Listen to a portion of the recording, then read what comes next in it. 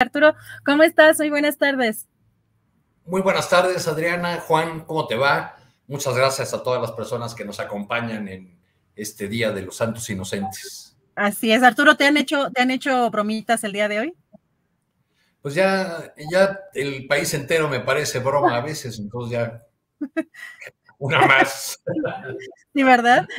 Alberto Nájar, ¿cómo estás? Muy buenas tardes. Hola Adriana, ¿cómo estás? Arturo, Juan, un abrazo a todos y a todas las que nos escuchan y aquí a, ustedes, por supuesto. Gracias, Alberto. ¿Qué te hacen bromita el, este día? Eh, ¿Alguna broma pesada o, alguna cosa por el estilo? Hasta ahora me he librado, fíjate, pero bueno, pues no, no lo descarto. Y sí, yo también de pronto, cuando hoy, que veía, por ejemplo, el, el Reforma, híjole, yo dije, estos cuates, sí, se le tomaron muy en serio esta idea de que es el 28 de, diciembre, aunque luego recapacité y dije, no, pues estos viven en el 28 de diciembre desde hace varios años. Juan Becerra Costa, ¿cómo estás? Muy buenas tardes. ¿Qué pasó, Adriana? Buenas tardes, qué gusto saludarte a ti, a Alberto, a Arturo y a quienes nos acompañan en esta tarde fría de la Ciudad de México. En esta tarde fría del Día de los Inocentes de Día de los Inocentes, así es, este, más allá de, no, pues ya nadie cae en las bromas en estos días, ¿no? Ya me parece que, que este, con tanta red social y con tanta información que tenemos a la mano, pues ya estamos preparados. Lo que sí es que no creemos las noticias creyendo justamente que son bromas, pero fuera de eso, nada, Adrián. Gracias, Juan Becerra Costa. Yo creo que también depende ya, a cierta edad, ya creo que ya no nos hacen, ya, respetan nuestras canas, ¿no? Arturo Cano, ¿cómo ves? Estamos eh, ya en una sucesión muy adelantada desde hace mucho tiempo, pero en estos últimos días hemos visto un, despliegue muy importante de espectaculares eh, con esta silueta eh, simulando la figura de Claudia o el rostro de Claudia Sheinbaum y pues hay, por supuesto, ya pues algunas denuncias que han interpuesto, por supuesto, la parte de la oposición, pero incluso eh, legisladores eh, morenistas, eh, pues muy también vinculados o identificados con la otra corcholata, con Marcelo Ebrard. ¿Cómo ves todo esto, Arturo Cano? Pues es una, una de las polémicas que desató la sucesión adelantadísima que, que hemos estado viviendo ya desde hace un buen rato y el tema va a seguir en la defensa eh, y, en, la denuncia del, diputado Maines del Movimiento Ciudadano. Eh, se habla de uno de los ángulos de este, de este polémico asunto, que es el del financiamiento o de dónde proceden los recursos para esta, estos anuncios espectaculares. Han salido algunos diputados de Morena a decir que ellos los han pagado de su dinero para tratar de quitar eh, uno de los puntos del, litigio, de la acusación, que es que se estarían empleando recursos públicos, pero esa eh, solamente es una cara del, conflicto. El, otro tema es este, meterse a interpretar si según la ley eh, los promotores de, de Sheinbaum, en este caso los, los diputados que han admitido que ellos pagan estos anuncios para posicionarla en la encuesta interna, están incurriendo en actos anticipados de campaña, que eso es lo que va a, hacer polémica en los, en los siguientes meses y, bueno, pues solamente, eh, quizás solamente disminuya un poco esa polémica de la propaganda de las eh, llamadas corcholatas en cuanto vaya subiendo el calor en el Estado de México y en Coahuila. Gracias, Arturo Cano. Eh, a ver, permítanme un segundito. A ver, por acá. Ya, perdón. ya andamos aquí listísimos. Eh, Alberto Nájar, pues, ¿cómo ves este tema? Este tema que además hace unos minutos entrevistaba al diputado eh, Alejandro Robles y decía que él calcula que hay 100 personas, 5 son los que ya hicieron pública su, su apoyo y esta eh, disposición de recursos personales, dicen de su dieta personal, pero que hay alrededor de esta campaña 100 personas. ¿Cómo ves este tema, Alberto? Pues mira, a mí me parece que es normal que haya este tipo de, propaganda, de, decisiones de los eh, eh, seguidores de Claudia Sheinbaum, y me parece que hay como una determinación de estar poniendo demasiada, a ver, ¿cómo puedo decirle? se concentran demasiado en quien consideran que puede, que puede ser la candidata de Morena, que tiene más posibilidades de ser candidata de Morena a la presidencia de la República. Eh, hay también una especie de miedo, de temor bastante fuerte en los grupos que han, hacen mucho ruido, mucho escándalo, porque saben precisamente que con ella difícilmente se puede llegar a una negociación como la que creen que van a conseguir con Marcelo, con Marcelo Ebrard. Y bueno, por eso es que han arreciado en estas críticas, en estos señalamientos. Yo no, no veo nada raro, no es nada inusual. De hecho, Claudia Sheinbaum ha tenido un despliegue publicitario mucho menor al que en algunos distinguidos militantes del Partido Revolucionario Institucional y del Partido Acción Nacional tuvieron en su momento en los gobiernos pasados, que eso sí, tapizaron todo el país de espectaculares. Em, yo recuerdo, por ejemplo, a, Enrique Peña Nieto cuando fue candidato a gobernador, a Alfredo del Mazo también en su momento, más recientemente. En fin, que el uso de este tipo de propaganda es algo normal en, México y también es, muy normal que ocurran cuando los tiempos de campaña legalmente todavía no están establecidos y también es normal que existan este tipo de señalamiento de, de, de, sí, de señalamientos de parte de, por ejemplo, de legisladores y en otros momentos de, otros candidatos, de otros personajes, que dicen que ellos financian la propaganda. Es decir, son parte de los usos y costumbres. Eh, la diferencia está en que ahora, pues quienes están quejando, pues lo hacen de una manera honestamente muy hipócrita, porque se fijan en, la, en el palillo, en la, en la, en la paja, en el ojo ajeno y no recuerdan la enorme viga, yo diría casi una viga del tamaño de la torre mítica, que traen cargando panistas, priistas, eh, personajes del movimiento ciudadano y otros miembros de la oposición, empresarios, intelectuales, en fin, todos estos que se han dedicado en los últimos cuatro años a, a, verter violencia verbal y a propagar odio, pues se les olvida que ellos mismos lo hicieron, lo hicieron exactamente igual y peor que ahora Claudia Sheinbaum. Y me llama la atención cómo toda la atención se concentra en cualquier movimiento que hace la jefa de gobierno, Em, ya sea que, que, en los fines de semana vaya alguna entidad y se reúna con gobernadores, o que en este caso los espectaculares o los señalamientos que hacen en sus conferencias de prensa, los desplegados que firma, y muy poco, muy poco se ve en los medios al activismo que despliega también Marcelo Ebrard. Yo creo que la oposición y los medios que son eh, leales a la oposición ya tienen candidato y se llama Marcelo Ebrard, lo están cuidando y eso se nota justamente en esta polémica de, estos días sobre los espectaculares de, Claudia Sheinbaum, Adriana. Gracias, Alberto Najar. Pues yo diría que... Yo diría Alberto, perdón. No, nada más, nada más rapidísimo. La viga del tamaño de la estela de luz. Bueno, está bien, tú te fuiste más pequeña. que el tema, Alberto, es que el que esté libre de pecado que arroje el primer espectacular, ese es el resumen. Yo creo que sí, esa puede ser una, una buena forma de, de, resumirlo. Sí, gracias Arturo Cano, gracias Alberto Nájar. Eh, Juan Becerra Costa, ¿cómo ves tú? ¿Esto le favorece a la jefa de gobierno esta situación que está pues eh, pues en estos días, pues causando mucho revuelo y con algunas impugnaciones o algunas denuncias ya, por ejemplo, en el Estado de México, el, digo, en el Estado de México, en el en Guanajuato, ya el Partido Acción Nacional también ya metió alguna denuncia en el Instituto Electoral Local. ¿Cómo ves tú esto que está pasando?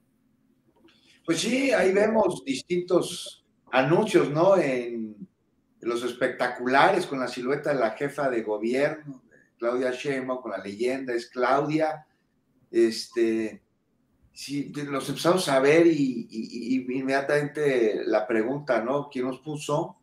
Este, las acusaciones, por supuesto, con lo de las bardas, no sé si se acuerdan, luego la medida que le impuso el INE a la jefa de gobierno, la respuesta de la doctora Sheinbaum, este, diciendo que la publicaba, no estando de acuerdo con ello.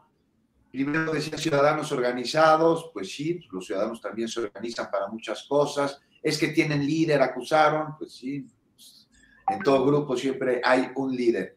Ah, pero la, gran pregunta, ¿quién está detrás de ello? ¿Quién está detrás de estos espectaculares que representan, qué significan? Una campaña adelantada, pues de nadie es duda, y bueno, la jefa de gobierno se deslinda, envía a la autoridad electoral este comunicado en el que deja claro que no es ella, ni su equipo quienes se están mandando colocar estos anuncios y salen ya los diputados, entre ellos Miguel Torruco Garza, diciendo que en el ejercicio de sus derechos políticos y constitucionales, él y otros diputados han colocado a la doctora Claudia Shema. Me parece que aquí lo que se requiere es absoluta transparencia del asunto. Se ha desatado ya una guerra, una guerra además interna en Morena, eh, algo de lo que se ha estado buscando evitar, ¿no? Que suceda. Este, ya vemos ahí a, diputados eh, de Morena publicando extrañamientos y exigiendo transparencia en cuanto a los recursos. Y ya salen también las exageraciones, ¿no? Que si esos anuncios cuestan 40 mil pesos cada uno, haciendo cuentas, cuántos diputados se necesitan para poder cubrir con este costo que ascendería a millones de pesos. No, que haya transparencia absoluta. Lo que se requeriría, por el bien de todos, me parece, es que de cada anuncio publicado, cada anuncio ahí en, los estados donde estén colocado, este, pues se sepa cuánto costó ese anuncio y quién pagó por ellos. Y si es una organización la que paga por ellos, pues que se sepa quién está dentro de esta organización. O sea, los diputados, como lo dijo Torruco, Marc este, Garza, pues están en el ejercicio de sus derechos políticos y constitucionales y lo hicieron con sus propios recursos y hasta ahí aprovechó para dar un mensaje de repudio ahí en contra de la censura del INE, el, diputado Torruco. Y sobre este, espérate, sobre esto último, Adriana, a mí me parece muy importante señalar aquí que se acaban de publicar en el diario oficial modificaciones a la Ley General de Comunicación Social, por lo que a partir ya de hoy se eliminan limitantes, ¿no? Por ejemplo, las mañaneras en donde se podrán dar a conocer los logros, los alcances de gobiernos durante procesos electorales, se elimina también este, donde hay elecciones, este, como llegó a suceder que bajaban las mañaneras, pues ya no van a poder bajar la transmisión de las conferencias, esto ya no va a pasar. Y además, las, y a, lo que nos compete sobre lo que estamos hablando, las manifestaciones de servidores públicos se reconocen como parte de su libertad de expresión, y no serán consideradas como propaganda y tampoco este, de ninguna manera las informaciones de interés público que den y muy importante aquí, porque todos los servidores públicos van a poder promover sus aspiraciones políticas, las de ellos, sí, pero también las de otros. Esto haya o no haya elecciones en curso. Y en redes sociales ninguna restricción, porque son medios gratuitos. O sea, claro, y cuando no, no compren pautas. Entonces ya nada más esto, querida Adriana, ¿no? Va un poco de la mano. Se, se requiere transparencia en el pago de estos anuncios de esta campaña adelantada y pues ya se están peleando.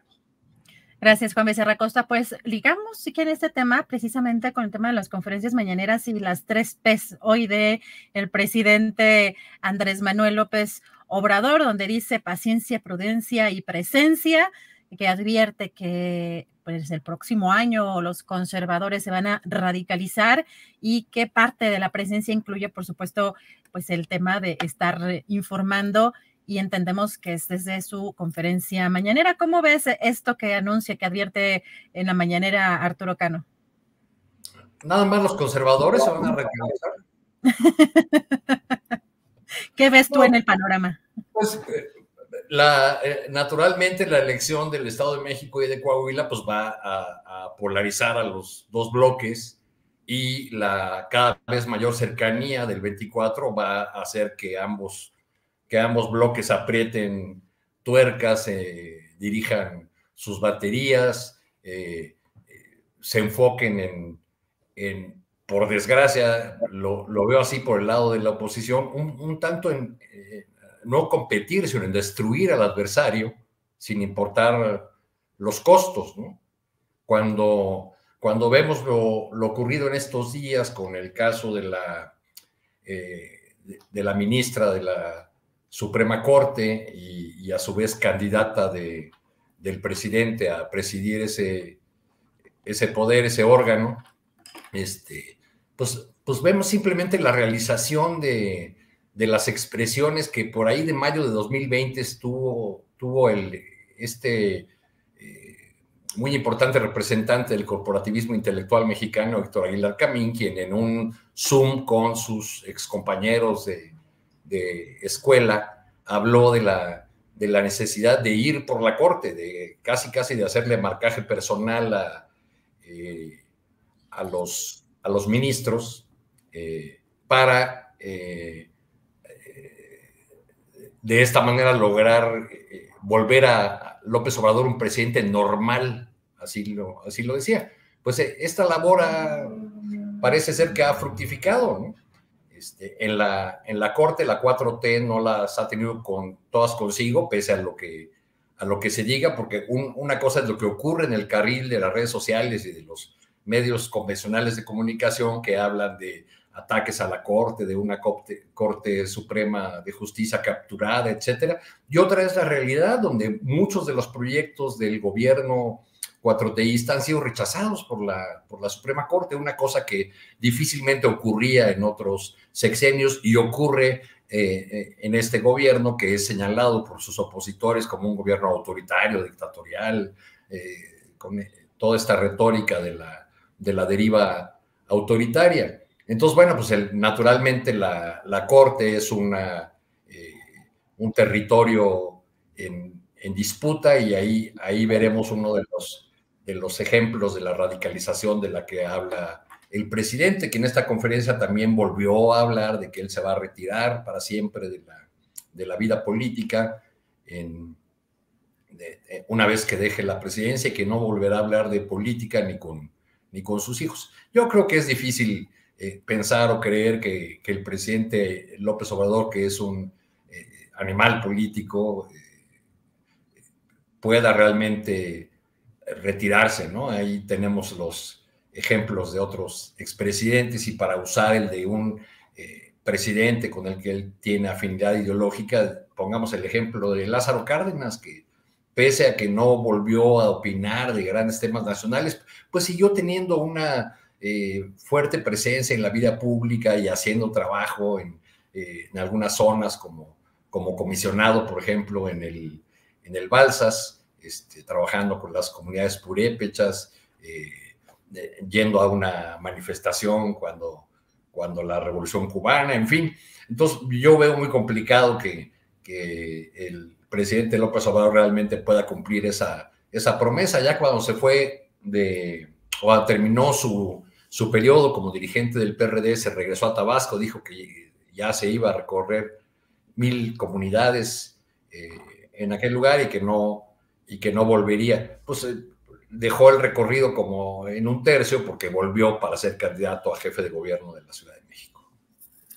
Gracias, Arturo Cano. Alberto Nájar, antes de irnos a lo electoral del próximo año, que viene también ahí complicado, justo en estas tres P's y sobre todo en el, la parte eh, que hace el presidente, esta advertencia eh, de que van a, radicalizarse los conservadores. ¿Cómo ves eh, tanto las conferencias mañaneras? Porque creo que es importante que dentro de esas PES la presencia pues involucra parte de esta estructura eh, fundamental de su gobierno, que son las conferencias mañaneras y lo que se espera para 2023, Alberto Nájar. Pues mira, es claro que el presidente López Obrador gobierna también todos los días desde Palacio Nacional en las conferencias de prensa matutina, que más que un encuentro circular con periodistas, pues es una forma de ejercer la administración pública. Ahí el presidente regaña, ordena, da instrucciones, acepta indicaciones, marca la agenda política, social y a veces hasta económica del país. Eh, es tanta la presencia y, y, lo que implica la participación de López Obrador en esas conferencias de prensa matutinas que no hay que olvidar, no hay que olvidar que no hay un solo presidente en la historia reciente, yo me atrevo a decir en la historia del mundo occidental, para no irme a, otro lugar, pues, que haga lo que el presidente López Obrador realiza todas las mañanas, de tener un encuentro con, con los periodistas, se puede decir que eh, es un diálogo a modo como han planteado algunos, que efectivamente eh, en muchos casos prefiere dar la palabra al derecho a preguntar a quienes el presidente cree, sabe o nosotros creemos que él sabe, pues que no le van a cuestionar de una forma fuerte, sino que en algunos casos, como ocurrió hoy en la mañana, pues van a hacer el ridículo. Em, pero eso no quita que sea un ejercicio de comunicación que ha resultado muy, muy eficiente y que los opositores han tratado de combatir de una forma muy desafortunada, em, porque una no, a pesar de que han vertido muchísimo odio y descalificaciones, no han logrado bajar la presencia del presidente López Obrador en términos de las encuestas. Em, dos, los posicionamientos que han logrado tener con una cierta relativa, relativo éxito, em, pues de una u otra forma ellos mismos, los opositores, los sepultan con el siguiente escándalo, el de la semana venidera, porque tenemos ahora pues, uno que parece que, es una muestra de, que efectivamente ya hay un proceso de desesperación, yo no diría de radicalización, de una mayor desesperación de parte de los opositores, como es el caso de la ministra Yasmín Esquivel, donde está clarísimo que todo tiene que ver con la pretensión de que el presidente no tenga una mayor presencia en la Suprema Corte de Justicia de la Nación y la han defendido, pero esa posición, pero como de una forma como lo hemos visto hasta ahora, habrá que revisar qué hay detrás, qué hay detrás de esta campaña, más allá de que si se plagió o no una tesis, hay que revisar hasta dónde, eh, eh, qué es lo que se trata de, de conseguir con esta estrategia, porque la, campaña que se ha hecho alrededor de este tema es realmente enorme, eh, incluso mayor eh, por algunos momentos a la que se planteó en el tiempo de la, de la pandemia. Las tesis, que supuestamente son iguales, se difundieron en cadenas de WhatsApp. Por ejemplo, a mí me llegaron como tres, tres versiones de las distintas tesis, lo cual implica que existe un interés marcadísimo en, en, esa, en esa posición que nunca antes en la historia reciente de México había sido tan disputada y no había generado tanto interés como el que ahora, el que ahora se tiene. ¿Por qué? Pues yo creo que precisamente obedece a esta desesperación de los opositores que se están dando cuenta de que el tiempo corre, de que ya empieza 2023 con estas dos elecciones locales en, el Estado de México y en Coahuila, que los momios no les son para nada favorables y que a pesar de todo el dinero que han invertido y todas las estrategias que han llevado a efecto no han logrado su objetivo de desbancar, aunque sea un poquito, a la presencia que tiene el presidente López Obrador y son malas noticias para ellos. ¿Hasta dónde van a llegar? Yo estoy seguro que se van a radicalizar aún más, sí. Eh, ¿Hasta dónde van a llegar?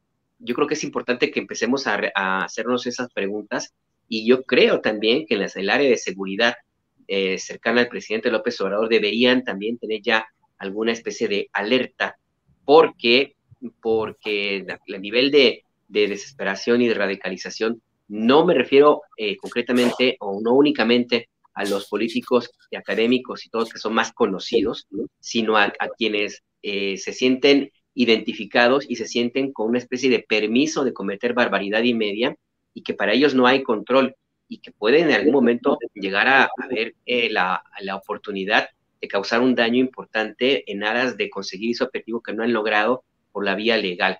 No hay que olvidar lo que ocurrió en Argentina, no hay que olvidar lo que ha ocurrido en Brasil, donde han eh, montado una operación de 60 mil policías para tratar de impedir que haya un atentado el día de la toma de posesión de Luis Ignacio Lula da Silva. Y no hay que olvidar lo que ocurrió en, Perú, con este, eh, con lo que ha sucedido pues con, con Pedro Castillo. Detrás de estos tres eh, acontecimientos en tres países distintos están los mismos grupos que son cercanos y a los cuales rinden pleitesía personajes como Jorge Castañeda, como este, este sujeto impresentable que se apellida Calderón Hinojosa, y otros como Lili Telles y los que trajeron a los de a los, a los extremistas de ultraderecha de España, en fin, en este, en este cóctel, en esta mezcla pueden suceder muchas cosas y la radicalización política que hemos visto hasta ahora, ojalá y se quede nada más en las conferencias de prensa matutinas y se quede nada más en el debate y el ridículo que hacen que hacen eh, la, gente de la oposición y algunos también seguidores del presidente López Obrador. Pues nomás ve lo que pasó en la mañana el día de hoy con ese calendario,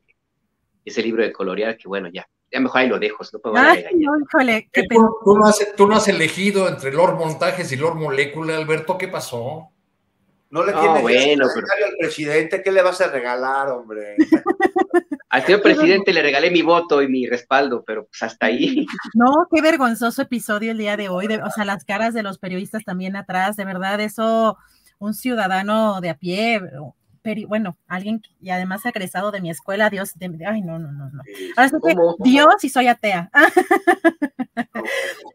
está, está, increíble. No, eh, no lo ah, repitas, Adriana, no lo repitas. No, no, no, no, qué horror.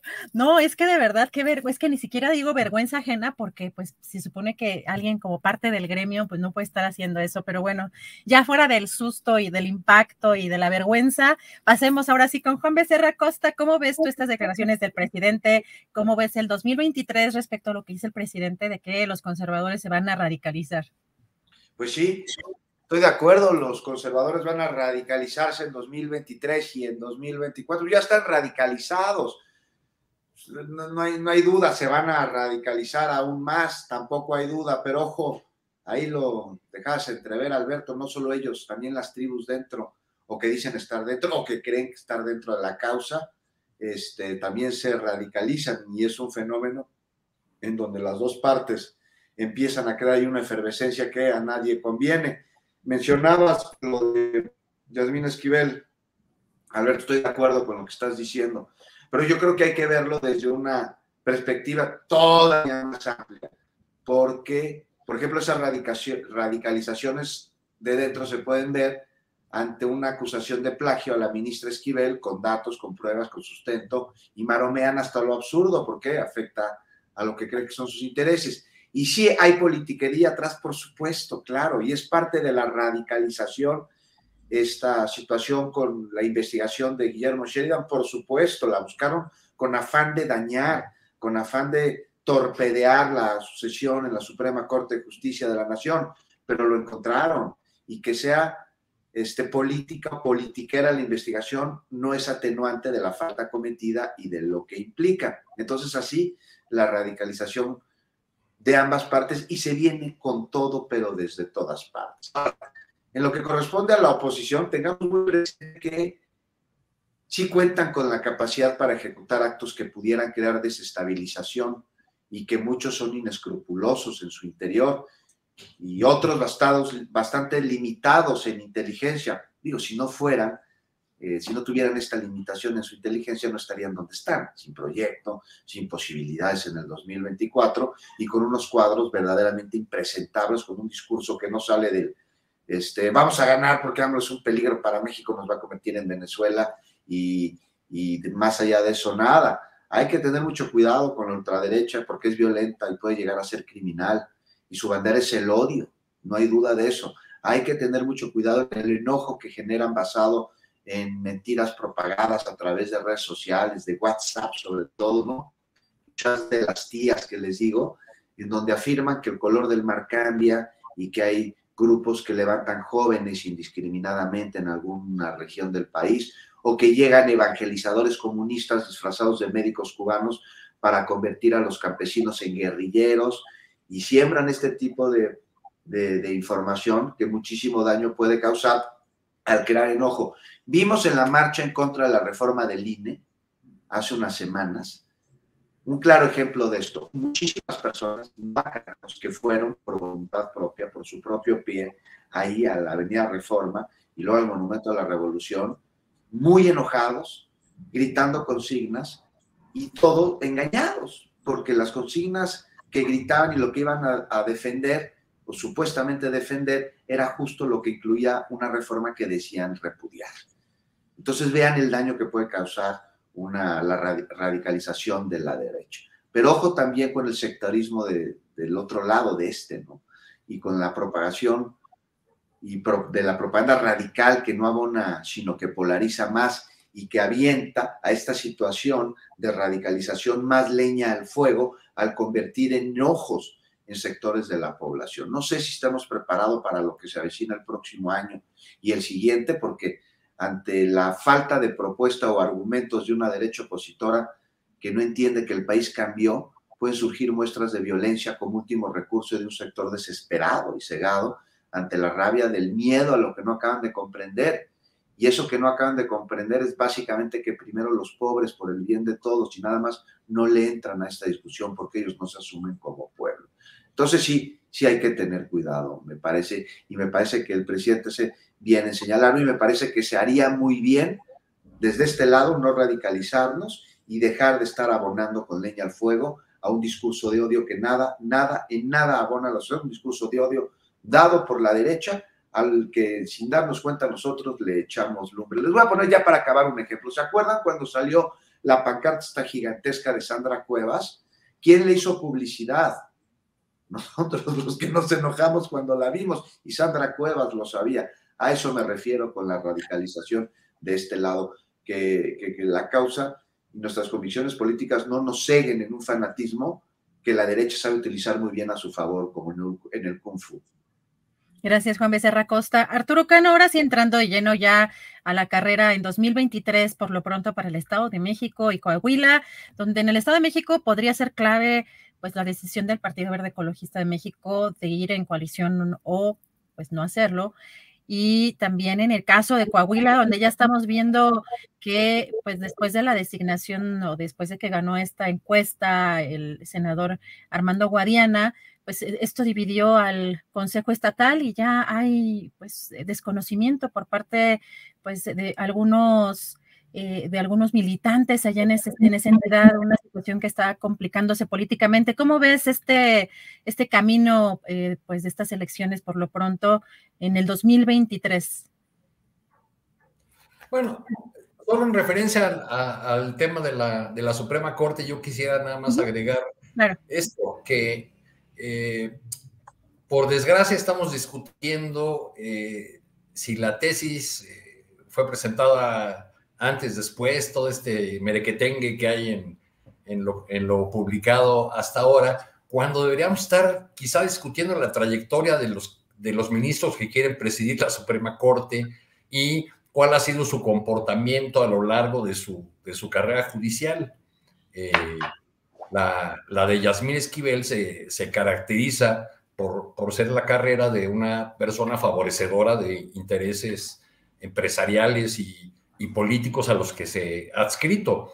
Este, recordemos que de ahí viene la insistencia de, e, e, incluso esta fallida intención del presidente López Obrador de ampliar el periodo del ministro Saldívar porque pues no confiaba ni, ni, siquiera en los otros que había nombrado, las otras que había, que había, que le había correspondido ya enviar como propuestas al Senado.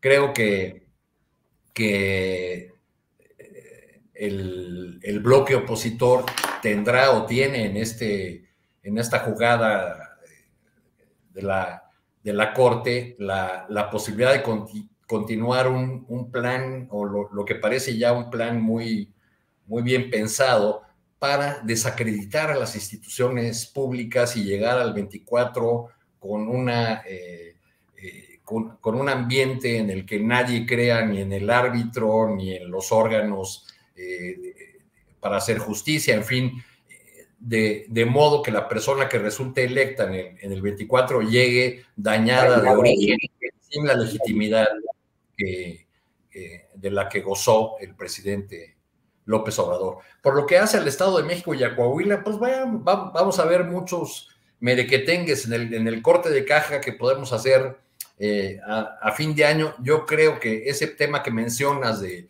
que ya hay algunos que se rebelan en Coahuila, los seguidores de, Mejía, para, eh, y que dicen que no todo está decidido con la candidatura de Armando Guadiana, creo que solamente están elevando el costo de, de su participación eh, el costo de su respaldo al, empresario y senador, este, y que se van, a, se van a disciplinar si les dan las posiciones, las candidaturas que creen, eh, que creen merecer. Va a ser una elección muy interesante porque un buen amigo me hizo llegar un resumen de todas las encuestas de, publicadas durante el año eh, en las dos, sobre las dos entidades y el caso de Coahuila muestra que hay una suerte de empate técnico entre el candidato, quien podría ser el candidato del PRI y el candidato de Morena. Entonces esa va a ser una elección complicada, difícil para, para Morena, donde el factor Moreira va a ser muy importante.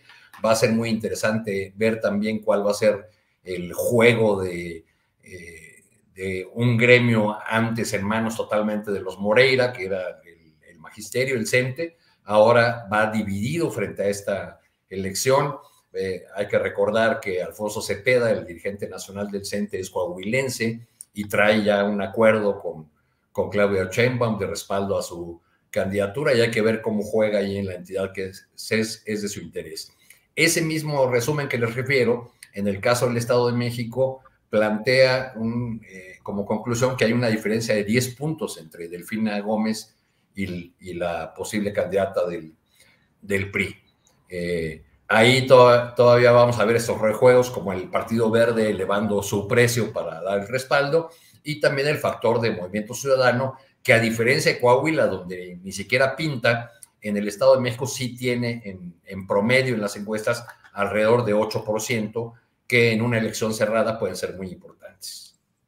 Gracias, Arturo Cano. Alberto Nájar, ¿cómo ves este tema de las elecciones en Coahuila, en el Estado de México? ¿Qué es lo que estaremos viendo en los próximos, en los próximos meses? Y también que el próximo año, pues ya va a estar intensa si ya vemos esta sucesión tan adelantada para el 2024 y hay, pues, estos simes y diretes en torno a algunas campañas o actos que podrían considerarse anticipados de campaña. ¿Qué veremos en el 2023 también a nivel federal?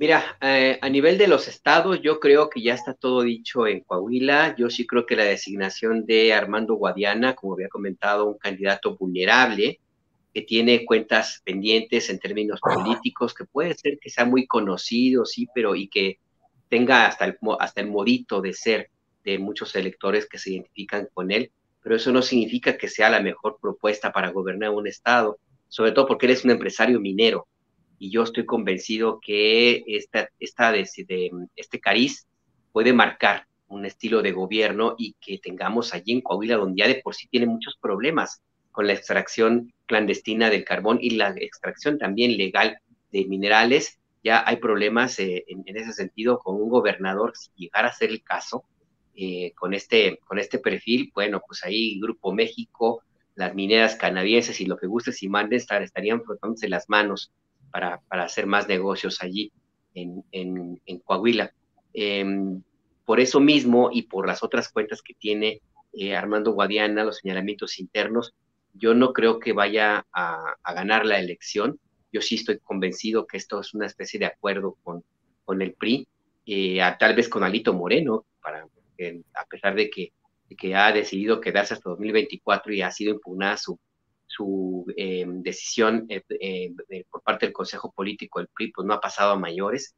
Entonces, en el caso de Coahuila, sí creo que Morena, yo creo que ya empieza a dar por perdida esta, esta, esta entidad.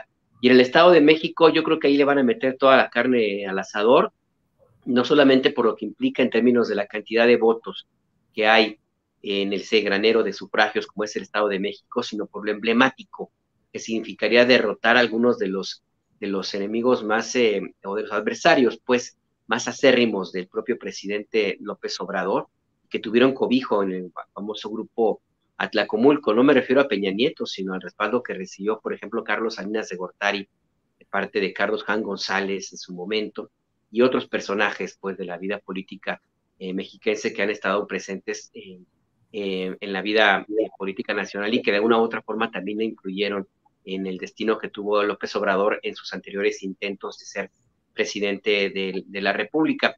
Así es que pues sí, yo veo por, por, ese lado que en el Estado de México sí hay muchas posibilidades de que, de que Delfina Gómez gane la, elección. No se va a dejar el PRI. Eh, allí sí también, si, si hay un grupo político que sabe de los sótanos, es más, yo creo que hasta casi inventaron algunos de estos sótanos políticos, pues es el grupo Atlacomulco y no solamente el grupo político, sino toda la red empresarial que hay detrás de, ellos y que se han beneficiado, pero de una forma impresionante de, las, la corrupción que de los gobiernos priistas y también de los panistas, por supuesto.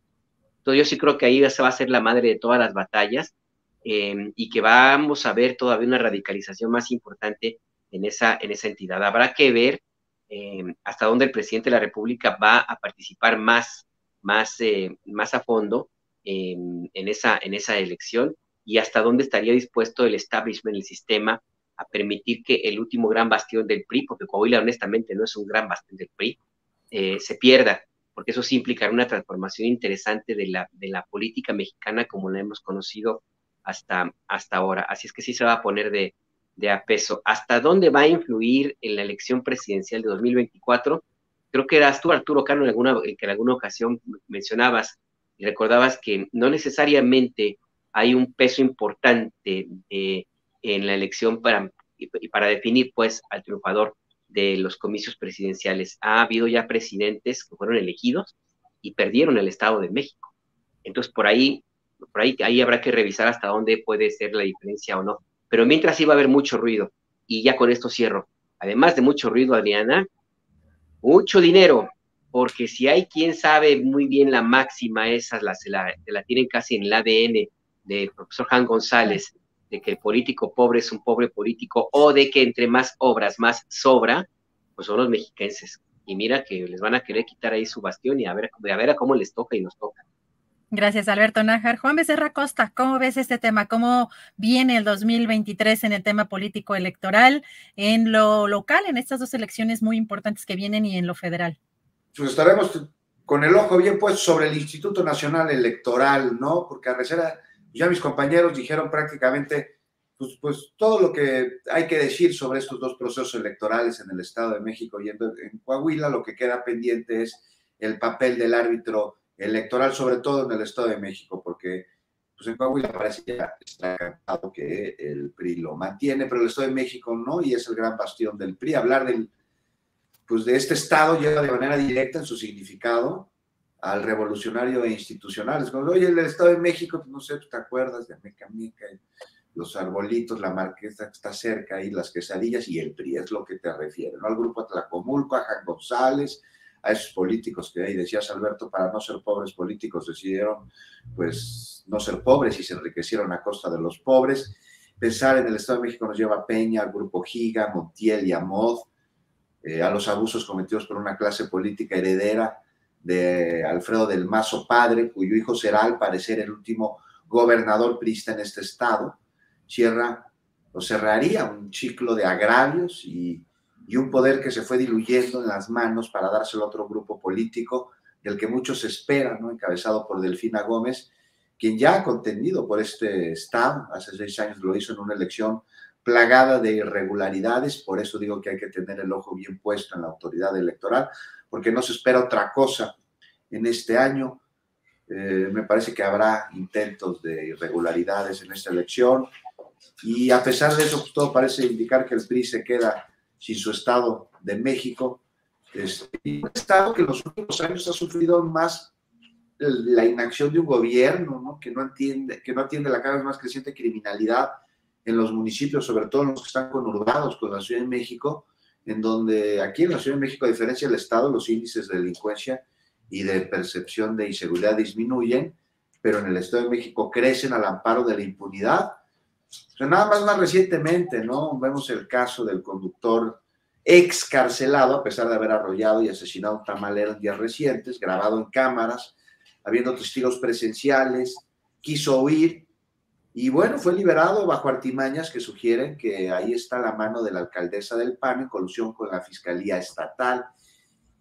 Y bueno, me parece que en esta elección tal vez no habrá tantas tarjetas de supermercado, o por lo menos no habrá las suficientes como para que el PRI se lleve el Estado de México, y es que en todas las encuestas así se percibe, Adriana, y por amplio margen, ¿no? Gana Delfina. Ya tendrá luego Morena que arreglar sus asuntos internos en el Estado, ¿no? La renovación de la dirigencia estatal. Pero mientras esto sucede, hubo disciplina, se cerraron filas, algunos a regañadientes, pero las cerraron. Y el proyecto de gobierno de Delfina Gómez es lo que hay que tener también en la mira, porque no será sencillo sacar al Estado de México de la podredumbre en la que está metido, un aparato de justicia devastado, una policía que, pues a la, ciudadanía le teme más a los policías que a los rateros, una serie de crímenes diarios que no se atienden y que no se explican sin la colusión de las autoridades y además el Estado de México, un estado riquísimo, terriblemente empobrecido a niveles en los que ha dejado de producir lo que se tendría que estar produciendo, ¿no? Y ya para acabar, Coahuila, pues a mi parecer, seguirá siendo el último partido del PRI, digo, el último estado del PRI. O sea, pues nada más hay que ver al candidato de Morena, lo más cercano al prismo viejo, y así lo decidieron los morenistas de Coahuila, más allá de un supuesto trato, porque pues Modena nada más no creo que pueda ganar este estado minero donde tantos intereses internacionales parecen estar. Pero el Estado de México, ahí me parece, como dice Alberto, ahí está toda la carne en el asador. Gracias, Juan Becerra Costa. Arturo Cano, pues llegamos al momento de los postrecitos. No sé si quieran abundar eh, sobre este tema de el este señalamiento de acusación eh, de plagio de la ministra Yasmín Esquivel de su tesis. Si quieran mencionar algún otro tema, puede ser también el tema de los migrantes, el, tema de la permanencia del título 42 y la situación que se vive en Estados Unidos o alguna invitación, alguna, eh, algún trabajo o algún comentario sobre algún otro tema, Arturo Cano. Pues cerramos 2022 con muchos problemas, con muchos dolores y uno de ellos sin duda es la situación de los de los migrantes, tanto de otras nacionalidades que pasan por nuestro país, como de los, de los mexicanos, dado que la, migración mexicana ha tenido un repunte en los, en los últimos tiempos. Es una pésima noticia que se prolongue la vigencia de ese llamado título 42 y con ello la eh, incertidumbre de miles y miles de personas que están diseminadas por todo nuestro territorio, eh, una buena parte de ellas concentradas en esa suerte de, gran campo de refugiados en que se han convertido las, las ciudades de la, de la frontera. Pero apuntando hacia, hacia el año que entra y la, y la guerra política, he estado dando seguimiento ahí a una información sobre, sobre la, eh, la alcaldía Álvaro Obregón y una lideresa eh, de apellido Ayala, me parece que, está en la cárcel, este, acusada de delitos ambientales e investigada por despojo, fraude y otros asuntos, eh, y que ha sido defendida por la alcaldesa Lía Limón. Esta, esta lideresa eh, controla desde hace dos décadas un predio conocido como la Angostura, que, fue una invasión en una zona de barrancas, en una zona de protección ambiental eh, y, se volvió, pues, como sucede en muchos, eh, en muchos casos, en este manejo eh, mafioso de, la necesidad de, vivienda que tienen las, las personas, pues se volvió en la que definía todo ahí. Hay 1.800 terrenos que vendió algunos de ellos hasta tres veces. Este, fue a dar a, la cárcel, acusada de, delitos ambientales, como dije, eh, y ahora la defienden desde la alcaldía Álvaro Obregón y desde el Partido de Acción Nacional, simple y sencillamente porque la consideran una bandera contra la administración de Claudia Sheinbaum. Ese es algo eh, terrible que, no le podemos adjudicar solo a una fuerza política. Eh, es decir, que, que conviertan una, frase cínica en su divisa, es una corrupta, pero es nuestra corrupta. Este, me, hicieron llegar un, un, video de una reunión donde hay eh, habitantes de ese predio de la angostura con eh, los que parecen ser dirigentes del, Partido Acción Nacional en la, en la demarcación. Y deberían escuchar ustedes cómo hay una narrativa de es una presa política y los presos políticos cuando salen de prisión se convierten en luchadores y se convierten en emblema y bandera de una lucha y la unidad. Es decir, eh, comparando a una eh, lideresa urbana corrupta con eh, un preso político del 68, digamos, así suena esa, esa retórica y creo que seguiremos viendo mucho más en este eh, mundo blanco y negro, en este mundo esquemático que nos quieren vender eh, desde algunas de las fuerzas políticas. La tergiversación de la derecha de la lucha social, qué impresión. Arturo Cano, muchas gracias. Alberto Nájar, ¿qué postrecito nos tienes para el día de hoy?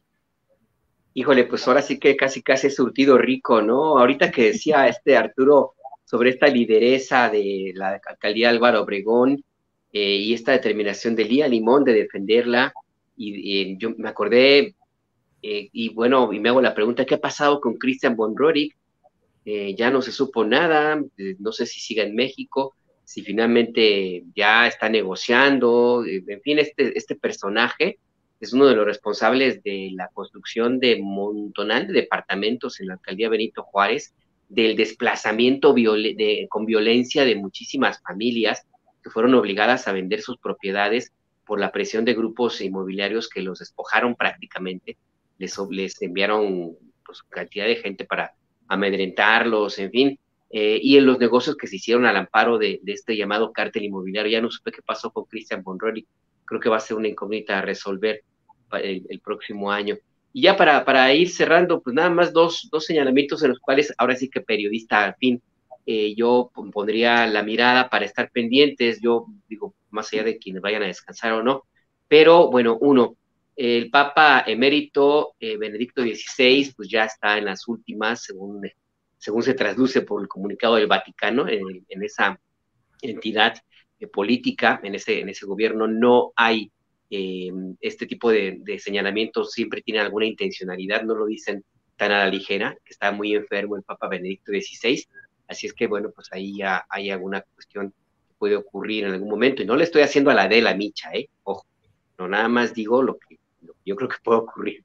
Y lo otro, pues el rey Pelé, el rey Pelé también está bastante grave, eh, entonces ya su familia inclusive ha acudido al hospital, están ya prácticamente despidiéndose, ya se despidieron, pues el rey Pelé también ya lo hizo a su manera, así es que pues tenemos esos dos temas ahí pendientes para este fin de año, lamentable la, ausencia del rey Pelé, pero sí está muy, muy, muy enfermo. Eh, Adriana, y aprovecho para mandarte un abrazo también a Arturo, a Juan y a todos los que nos escuchan.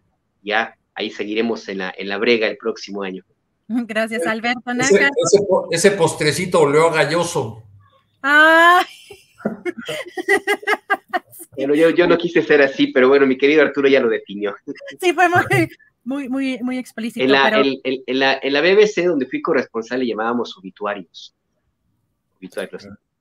Yo pues no tengo ni idea de cuántos escribí, este, y se publicaron algunos años después, el de Chespirito, por ejemplo, que publicó buen tiempo, el de Vicente Fernández también se publicó años después, y tengo otros por ahí que ya mejor no digo, porque si no van a, sí, efectivamente me estoy quedando de galloso. Así es, no, pero sí es verdad que en el periodismo tenemos que adelantarnos y hay personajes que nos ponían a hacer, ¿no? Que eh, pues las biografías, este, incluso entrevistas con ciertos personajes de pues, eh, eh, pues una eventual, un eventual fallecimiento y que además cayera, ¿no? En las madrugadas cuando pues ya no había una parte importante de la redacción, que quienes llegamos a trabajar, por ejemplo, a las 11 de la noche, pues ya estábamos prácticamente solos y cuando pasaba eso, si no tenías preparado la la, biografía del personaje, uy, era, era la locura, ¿no? Ahí andar corriendo, persiguiendo la, información. Pero muchas gracias, Alberto Nájar. Juan Becerra Costa, ¿cuál sería tu postrecito para terminar? Pues postrecito para terminar, Adriana, pues nada más el juicio crítico, ¿no? Porque regresamos ya rápidamente al tema de Yasmín Esquivel. Ahora resulta que para algunos exige que se investigue por qué la tesis es idéntica a la otra eh, pues es traicionar a un movimiento de transformación. Traicionarlo sería quedarse callado o donde quede el no somos iguales, bajo el entendido de la presunción de la inocencia. No está diciendo que sea culpable, sino está diciendo que se tiene que investigar, se tiene que aclarar. Es una simple pregunta. ¿Por qué las dos tesis son exactamente iguales? Algo que no digo yo y que no solo dice Guillermo Sheridan, sino que la misma Universidad Nacional Autónoma de México comunicó a través de sus redes sociales y después a través de una este, revisión y urgente que se aclare esta situación. Pero de entrada, decir nada más que es un ataque politiquero y, e intentar hacer un lado todo lo demás, pues me parece que es una mirada muy miope y muy mediocre de la situación y además muy poco cercana a la causa de transformación del país. No mentir, no robar, ¿se acuerdan? Parte de los principios fundacionales del movimiento de la cuarta transformación. Bueno, pues resulta que alguien afín a la cuarta transformación le salen con esta guerra sucia politiquera, sin duda alguna, a través de la cual se ponen a orgarle y encuentran esto. el que tenga este sentido politiquero no es atenuante de una presunta falta cometida. Por eso, aclarar que se investigue, que se determine y en caso de que se llegue a una resolución, que se tomen las acciones correspondientes de acuerdo a la ley, no a otra situación. Entonces, nada más, hay un poquito del juicio crítico del que hablaba hace rato sobre la radicalización que mencionaba el presidente sobre la derecha, pues la izquierda no está exenta de tenerla de ninguna manera y el tenerla no abona en nada a la causa de transformación del país, una causa que trasciende políticos, que trasciende partidos, que trasciende gobiernos, un movimiento cultural, un movimiento de transformación. Nada más hagamos un pequeño ejercicio de memoria y de reflexión y vámonos a 2018, ¿por qué votamos? ¿Para erradicar qué? ¿Para acabar con qué? ¿Para terminar qué? ¿Y qué es lo que estamos viendo en algunos casos? como sería el de la ministra Yasmín Esquivel en el dado caso de que las autoridades determinen que hizo plagio. Ahora, hizo plagio, pues no sabemos, pero parece, todo parece indicar que así es.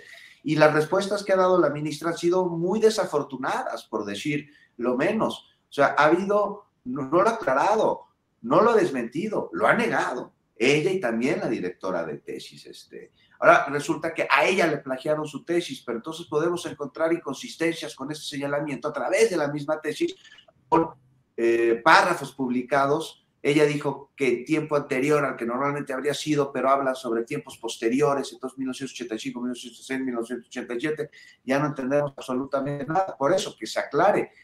Y eso es por el bien de todos. O sea, si no se aclara, pues ahí va a quedar como, como un episodio negro de posible corrupción y de impunidad en un movimiento cuya bandera precisamente es combatir la corrupción y la impunidad. Nadie por encima de la ley, dijo el presidente López Obrador en su momento.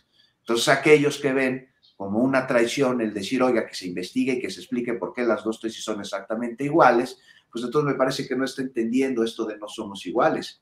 Ni tampoco. Pero, tiene, pero tiene que ver también, Juan, con el hecho de que el presidente minimiza el asunto cuando plantea que Sheridan y Krause le han hecho daño al país y que un pecado juvenil o algo así, eh, que es el haberse fusilado una tesis en, a los 22 años es menor, es de lo que se apaña ese sector que lanza los ataques durísimos, ¿no?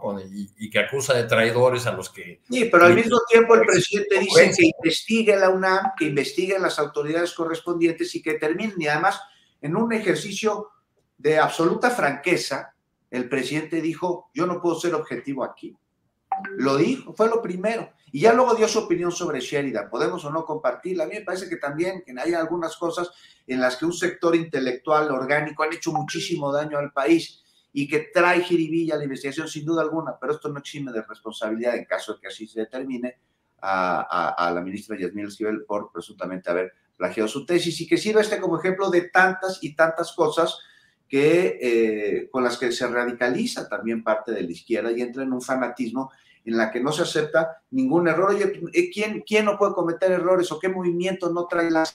Todos, absolutamente todos, pero el resolverlos está primero en reconocerlos. Si no los reconocemos por miedo a que nos digan, no, no funcionan, no son iguales, no, este, ¿para qué votamos por ustedes? Entonces mejor no reconocemos lo que hay que reconocer, pues entonces no veo que hay una transformación cultural y somos los ciudadanos parte de esa transformación cultural. Que no nos guste lo que esté pasando, que no nos guste lo que se esté dando a conocer, pues no quiere decir que lo vamos a evadir. Psíquicamente, la evasión es de las herramientas que más daño pueden hacer a una persona y que incrementan una patología. Y esto trasciende al ámbito social, no solo al ámbito personal. Las patologías se convierten en parte de las sociedades en el lugar en el que está la persona que la trae, la, contagia a, su entorno más, más cercano. Lo mismo pasa con los fenómenos sociales, políticos. Y entonces, tú pues, reconocer y decir, no, pues sí, que se investigue, ¿no? Y, ya, ya, ya, el favor, ya el pleito es porque uno anda diciendo que se investigue, pues así no se puede avanzar mucho, que, lo que digamos, a reserva de que ustedes opinen otra cosa. Alberto Nájar, ¿tú querías decir algo? ¿Quieres comentar algo? No, yo, yo creo que es importante lo que dice Juan, coincido. Eh, los el fanatismo no ayuda a nadie, ni el fanatismo de la derecha, que está aquí, ha estado presente, hace mucho ruido y son realmente lamentables, ni tampoco el fanatismo de la izquierda, el endiosar a un personaje no ayuda para nada.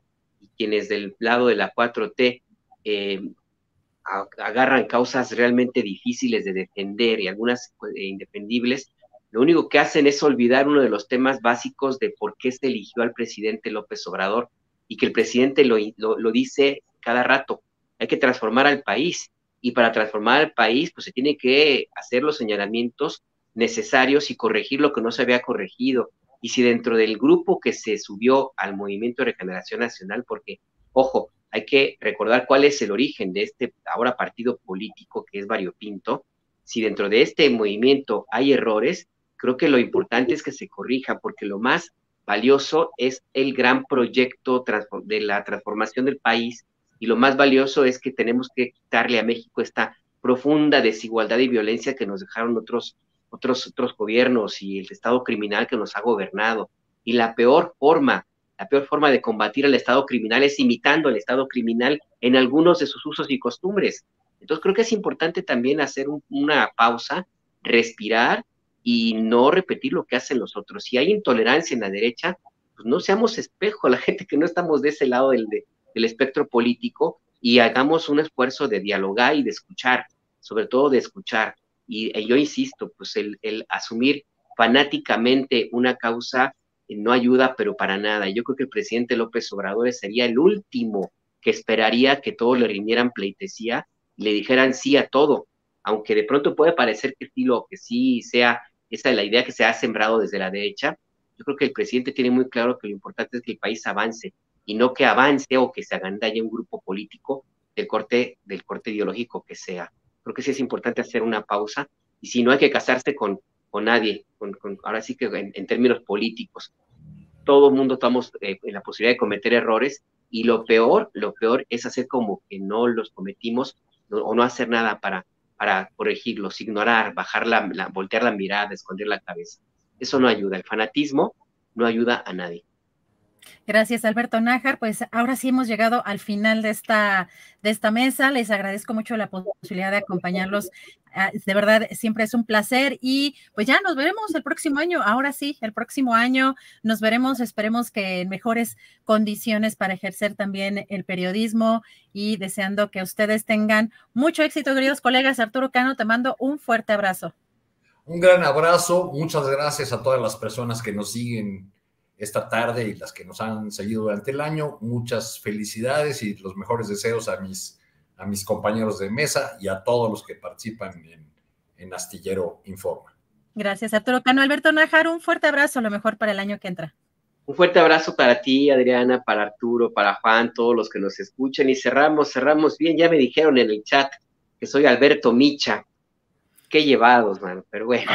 Bueno, oye, Alberto, mañana, tienen tertuliana o cuándo es? Ah, sí, es verdad, que híjole, ya, fíjate, ahora sí que me van a regañar ahí en casa, en, pie de página. Mañana a las 7 de la noche en Tierra Adentro, Milán 20, en Milán 22, en la colonia, colonia Juárez de la alcaldía Cuauhtémoc, hay una tertuliana, la última de esta, la última y nos vamos. Es las periodistas en vivo, Daniela Pastrana, Jessica Cermeño y Luisa Cantú van a conversar entre ellas y con, y con quienes asistan o se conecten a esta esta tertuliana. En la última del año hay pocos lugares, reserven, se va a poner muy buena. Gracias, Arturo, qué bueno, me salvaste una regañadota de la, de la jefa Daniela, ya imagínate, ya nomás faltaba que me llevaba sobre mojado.